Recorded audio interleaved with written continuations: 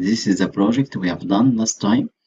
Uh, we have two ways okay and two traffic uh, signs. So we just control the first one to be red for some time and then green for some time and then yellow for some time okay?